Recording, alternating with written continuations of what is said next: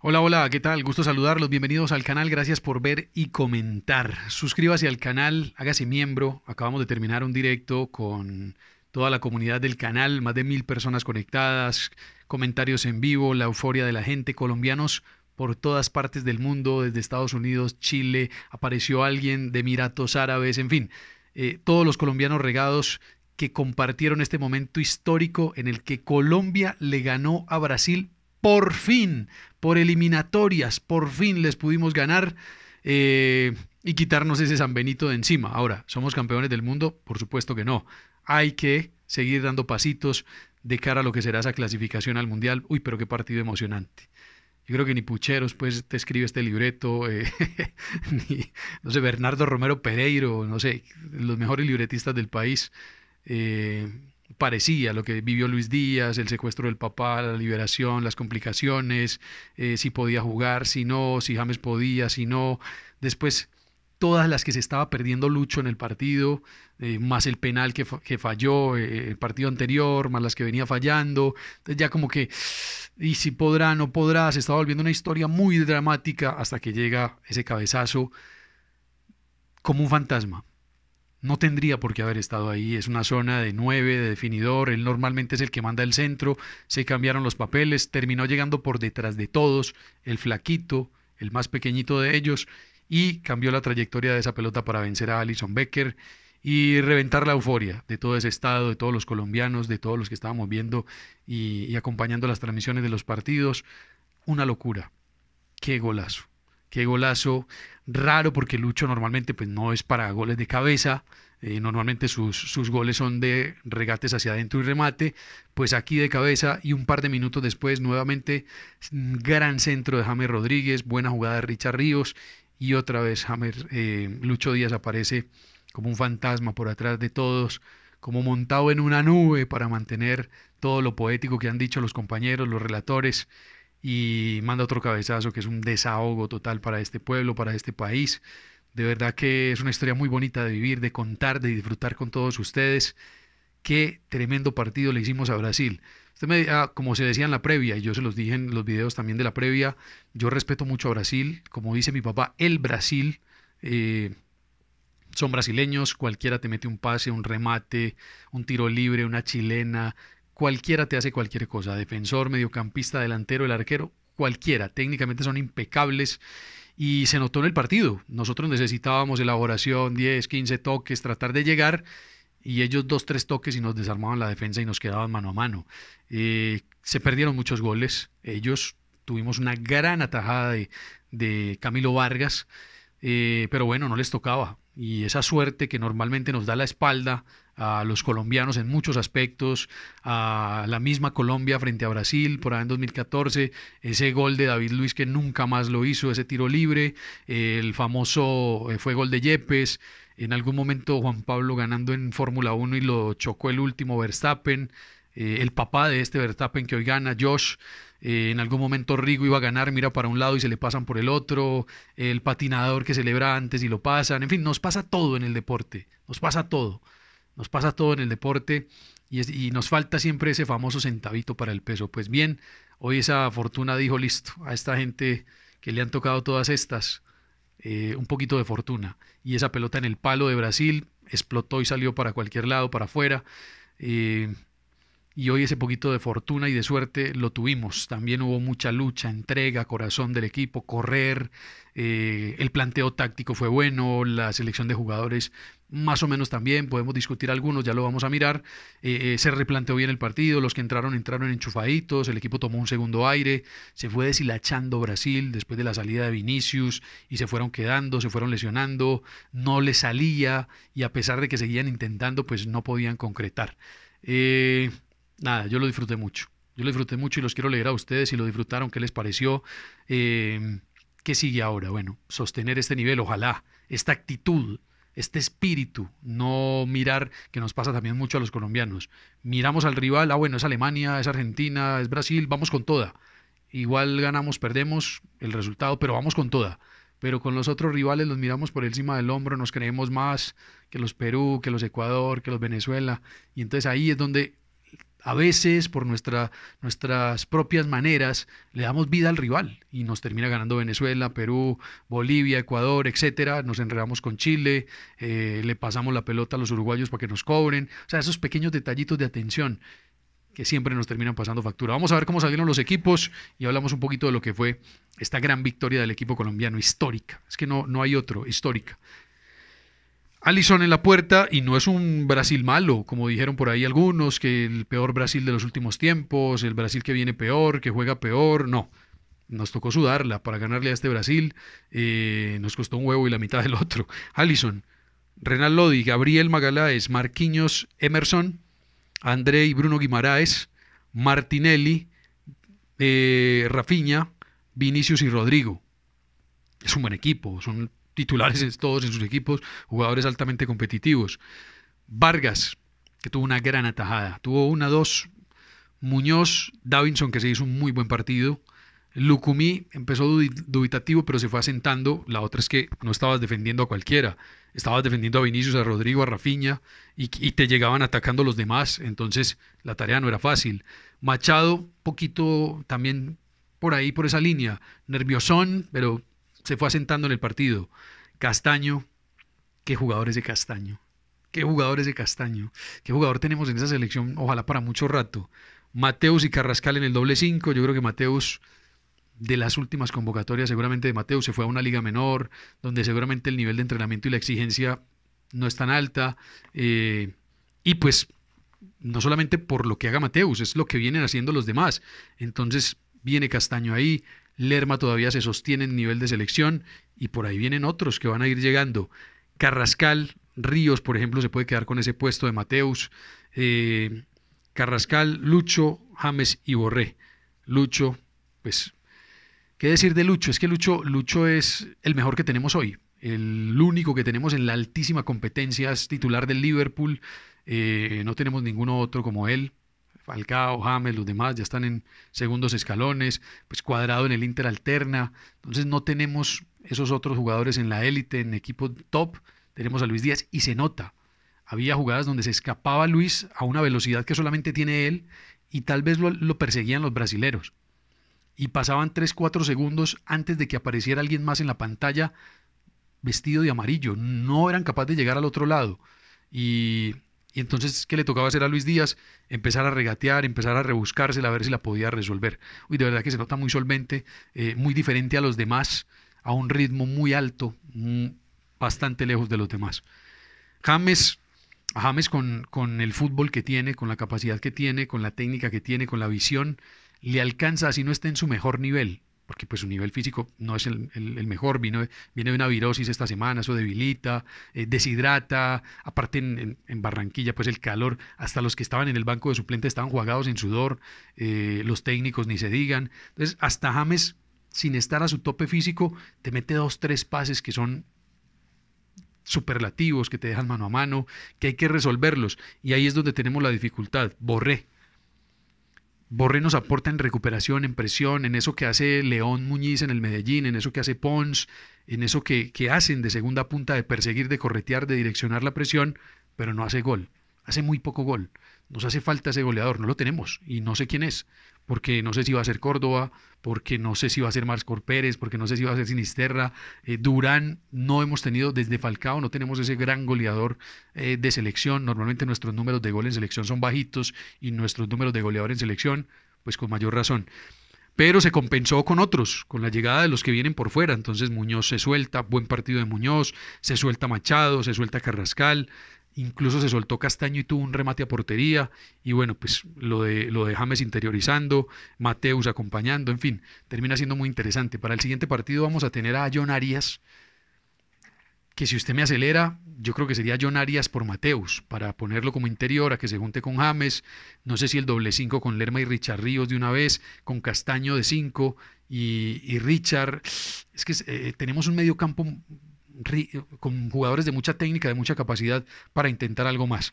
Bueno, de la cronología del partido al minuto 2, Rafiña para Vinicius, Vinicius de cabeza, tragamos a Livita. Minuto 4, el gol de Brasil. Es una muy buena interacción entre Martinelli, Vinicius, taco de Martinelli. 15 toques hubo en esa jugada. Estamos hablando del minuto 4 en Barranquilla y nos marcaron el primer gol. Eh, yo ahí sentí que se venía la noche. Yo dije, uy, fue pucha.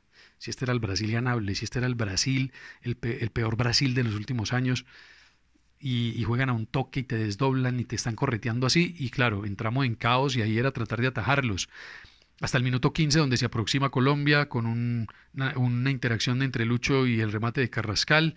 Tenemos al 16 un centro y cabezazo también de Colombia, al 17 un remate de Lucho, es una recuperación alta eh, y ahí se activa el juego directo de la selección Colombia. Remata Lucho y ataja a Allison. Al 21 tengo un remate de Machado. Ah, no, Machado es el que centra atrás y un remate de Lucho Arras que se va desviado, sí. Al minuto 26, afuera Vinicius, tempranito, 26 minutos, ah, ingresa Pedro, debutante en selección. Al minuto 30, una contra de Luis Díaz, no logra rematar y lo tapa André. Esta es una de las que se escapa a toda velocidad y cuando empieza a generarse ese espacio para adentro, arranca Luis Díaz, lo viene temporizando André y empieza a regatear para adentro, perfilándose para patear, la que normalmente hace en el Liverpool, y André lo va midiendo. Y cuando suelta el remate se tira André y lo bloquea. Es un gran es una gran jugada de Lucho Díaz, pero también es una gran jugada de André, el jugador de, Fluminense, que viene fresquito de ganar la Libertadores. Em, tenemos también al 31 un giro, controla Rodrigo, se gira, remata, se fue, eh, pegó en la pelota en Lucumí, se fue al tiro de esquina. Al 36 hay una amarilla para Diniz, que estaba canzoncito, quejumbroso, con, sobre todo con el tema arbitral. Yo no vi un mal arbitraje, me parece un arbitraje normal de eliminatorias. No se puede comparar al arbitraje de, de, por ejemplo, de nuestra liga, no. Además porque es un árbitro uruguayo, eh, Matonte, no es el mejor, pero, pero estos, estos partidos de eliminatoria, los árbitros tratan de dar mucha continuidad, permiten por ahí el rocecito, permiten por ahí el choquecito, una faltica de más, cosas que en las ligas serían falta. Y entonces Diniz estaba molesto, estaba molesto porque pues eh, sentía que había por ahí algún juego brusco y que de pronto no estaba siendo sancionado. Eh, ¿Qué más tenemos? Al minuto 40 un remate a ras de James, y al minuto 42 un remate de Castaño, que tuvo una buena construcción también en el medio campo. Segundo tiempo, para entrar, Machado por Martínez Borja. Entra Martínez Borja, aire fresco, a seguir compitiendo. Había que atajar a los brasileños que venían por banda, entonces se necesitaba. Al 48 un buen remate de, de Bruno en plena zona 14, Arras. Al 53 remate de Rafiña, es un atajadón atajadón de Camilo Vargas, esa pelota se le metía, la logra desviar al córner y yo sentía, uff, pucha, se nos van a, nos marcan otro gol y se termina el partido. Eh, y Colombia seguía saliendo y el partido se, un momento en que se rompió, era voy, vuelvo, voy, vuelvo y era, o nos marcaban el segundo y nos lo cerraban o les marcábamos el gol y les descontábamos. Y ya van a ver la secuencia. Al minuto 55, remate de Carrascal, una buena tajada de Allison al que es la que ataja y se queda con ella. Bien, es seguro, Allison. 57 remate de Rodrigo, recorte para adentro, se lleva a los dos y logra sacar el remate. Al 66 borré por Córdoba y ahí metíamos nueva energía en el partido. Al 67 Rafiña, ese remate al palo. Al 68 Rodrigo eh, por Paulinho debut. Y esa de Rafiña, yo dije, uy, se nos vino la noche. Al minuto 67 lo estábamos perdiendo, nos llegaban pelota en el palo eh, y seguíamos saliendo. Entonces estaba planteado así, o les hacemos uno o nos llenan. Pues afortunadamente al minuto 69 el remate de Lucho, eh, al primer palo ya estábamos avisando, al minuto 72 remate de Lucho, al pase de Sinisterra y al 74 pues llega ese, ese lindo gol de Luis Díaz, es un centro y aparece por detrás de todos para cambiarle la dirección a la pelota, le cambia el palo al arquero y lo empata. Y Inmediatamente saca Brasil, recuperamos la pelota otra vez, hay otro remate que termina atajando Allison. Y al 78 llega el otro gol de Colombia, hay una pelota de Richard Ríos eh, que la limpia, que para eso entró, para pisarla, para, para evitar tanto desgaste de James. La tiene, la mueve, la toca para un ladito, hace la mague para adentro y para afuera y se la atrae jugadores de Brasil, que eso es lo que hace teniendo la pelota, los atrae y libera a James. Y le entrega esa pelota a James y James de primera banana al segundo palo y ahí aparece Luis Díaz para meter el cabezazo otra vez. Es un golazo del equipo colombiano, de verdad que qué buen partido hicimos y ahí ya, minuto 78, quedaban 10 minutos, 15 minutos ya a mentalidad, fuerza, competir. Eh, qué celebración del gol tremenda, el, enfoque del papá de Luis Díaz en la tribuna, casi a punto pues de que le si hace otro gol Luis Díaz, ese señor no aguanta. Eh, y toda la celebración del Metropolitano, el abrazo de los jugadores, eh, el abrazo con James y Luis Díaz le da un beso a James.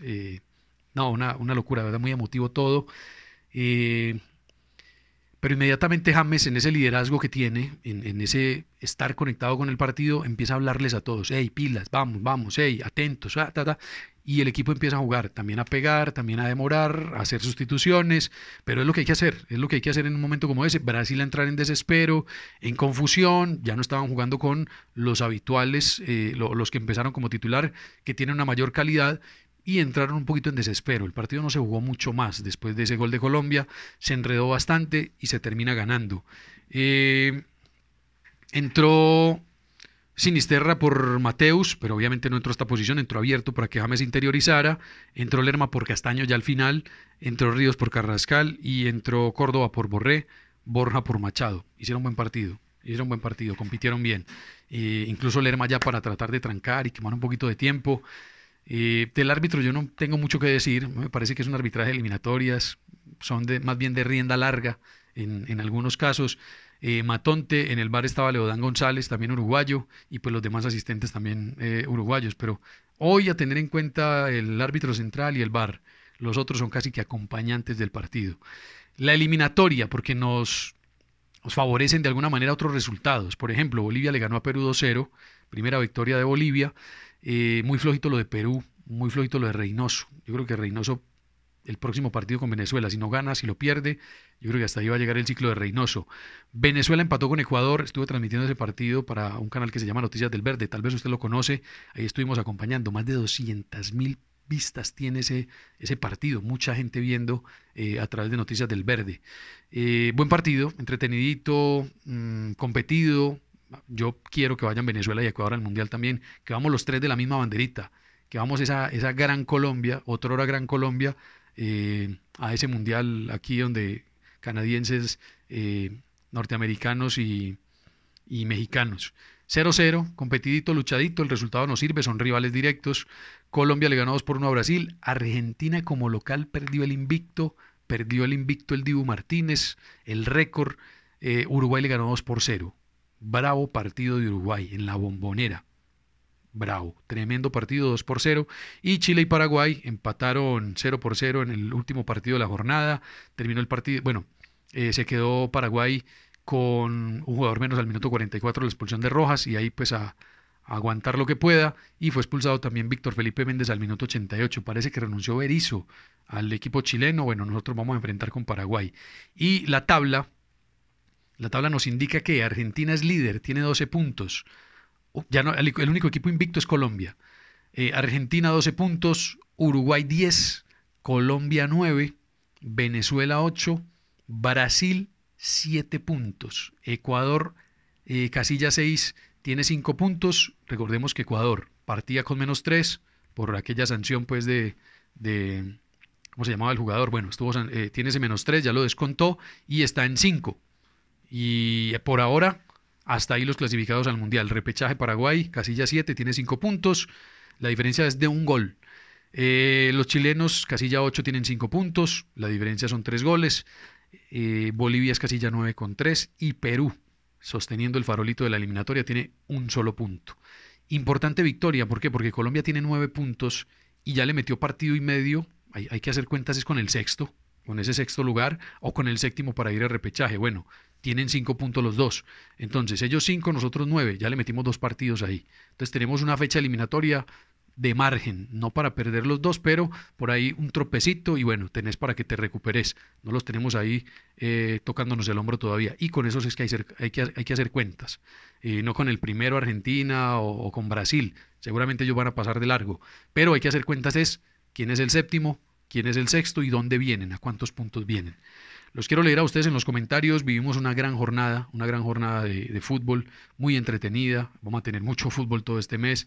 Tenemos clásicos el fin de semana, clásicos eh, de fútbol colombiano. Eh, tenemos fecha eliminatoria el martes otra vez. Tenemos final de, la Copa Betplay eh, también aquí en Colombia y otra vez clásicos. En fin, tenemos mucho fútbol y los vamos a estar acompañando en el canal. Eh, próximo partido de Colombia. Tendrá que visitar Paraguay, será el martes a las 6 de la tarde, los estaremos acompañando. Suscríbase al canal, si le gusta el, el, contenido, compártalo. Y recuerde, todo lo podemos debatir siempre con respeto y con argumentos, porque la única verdad en el fútbol es que no la tiene nadie.